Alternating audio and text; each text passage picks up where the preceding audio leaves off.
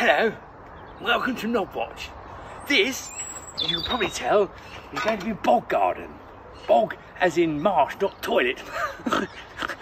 so, I'm just digging it out first and then um, I'm going to mix it with some, uh, mit it, it, the uh, soil. This is quite, quite um, solid. Mix it with some gypsum just to break it up a bit, uh, some compost and um, some sand.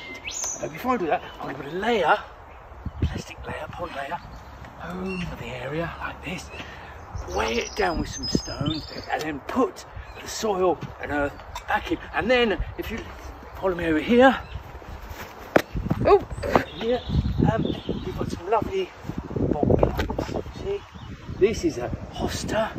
This is something else, and that's uh, that's something else.